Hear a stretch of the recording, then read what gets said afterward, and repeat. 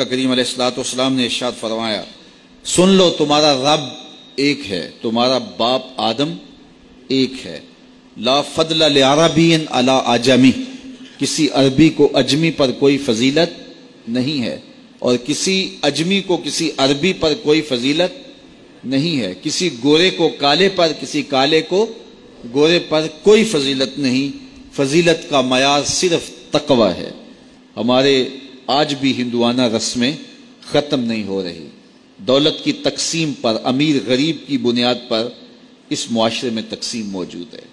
ہمارے دیہاتوں میں چودھری اور کمی کی بنیاد پر تقسیم موجود ہے۔ رعایا اور حکمرانوں کی بنیاد پر یہاں تقسیمیں موجود ہیں۔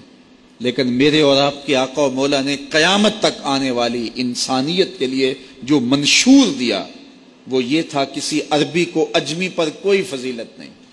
کسی اجمی کو عربی پر کوئی فضیلت نہیں۔ کسی گورے کو کالے پر کوئی فضیلت نہیں۔ چونکہ کالے رنگ بھی اللہ نے بنائے ہیں، گورے رنگ بھی اللہ نے بنائے۔ حکیم لکمان رنگ کے کالے تھے اور صورت اچھی نہیں تھی۔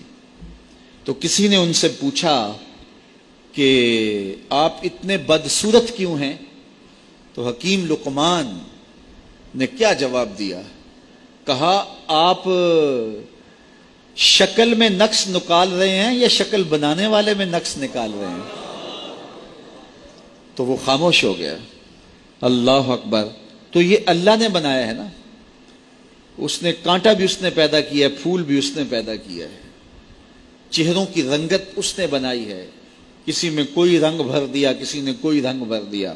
تو رنگوں کی بنیاد پر نصب کی بنیاد پر کوئی افضل، کوئی اشرف، کوئی اعلیٰ، کوئی بد یہ نہیں ہے، بلکہ معیار جو دیا گیا وہ کیا تھا؟ تقوا ان اکرمکم ان دلہ اتقاکم، جو زیادہ متقی ہے، اللہ کے نزدیک وہی معزز ہے، وہی معتبر ہے۔ پھر حضور علیہ السلاۃ والسلام نے عورتوں کے بارے میں تاکید کی کہ وہ تمہاری زیر دست ہیں، ان کی ملک کچھ نہیں ہوتا اور کمزور ہیں، ان کے بارے اللہ سے ڈرنا۔ اور حضور نے ان کے ساتھ حسن سلوک کرنے کی وصیت کی۔ پھر غلاموں کے ساتھ حسن سلوک کرنے کا حضور نے درس دیا کہ جو خود کھاتے ہو وہ انہیں کھلاؤ، جو خود پیتے ہو انہیں پلاؤ، جو خود پہنتے ہو انہیں پہناؤ۔ بعض لوگ ملازم کو، ماتحت کو جو ہیں وہ ہلکے کپڑوں میں کسن رکھتے ہیں تاکہ پتہ چل جائے کہ یہ غلام ہے، یہ ملازم ہے اور ہم باس ہیں۔ حضور علیہ السلاۃ والسلام نے ان تین چیزوں کی تاکید کی۔ پھر حضور نے ہمسایوں کے حقوق کے حوالے سے بات کی اور صحابہ فرماتے ہیں کہ اتنی بار حضور نے تاکید کی کہ ہمیں یہ گمان ہوا کہیں وراثت کے اندر حقدار نہ ٹھہرا دیا جائے۔ تو ہمسایوں کے حقوق کے حوالے سے حضور نے تاکید ارشاد فرمائی۔ پھر حضور نے تین باتوں کی تاکید فرمائی۔ پہلی بات، عمل میں اخلاص پیدا کرو۔ چونکہ عمل کا خلوص ہی قبولیت کا سبب ذریعہ ہے اگر عمل میں خلوص نہیں تو کچھ بھی پلے نہیں ہے۔ دوسری بات، حاکموں کو وسیعت کرنا، جو بادشاہ وقت ہوں، حاکم ہوں، ان کو خیر کی بات کہنا، ان کو بتانا، ان کا قبلہ درست کرنے کی کوشش کرنا، یہ ذمہ داری ہے قوم کے اوپر۔ تیسری بات، حضور نے یہ وسیعت فرمائی، لزوم و جماعت المسلمین، مسلمانوں کی جماعت سے الگ نہ ہونا۔ الگ الگ ٹولیوں میں نہ بٹنا، لابیاں نہ بنانا، گروہ بندیاں نہ کرنا۔ جماعت کے ساتھ جڑ کے رہنا، فرقہ بندی سے بچنا اور جماعت وحدہ کا ساتھ دینا۔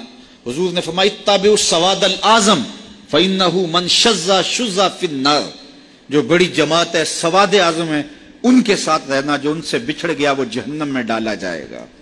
در ماہی دا چھوڑی نہ ہی نہیں تے ہو جامے گا روگی۔ جیڑی بکری اجڑوں وچھڑی، او بگیاڑا جوگی۔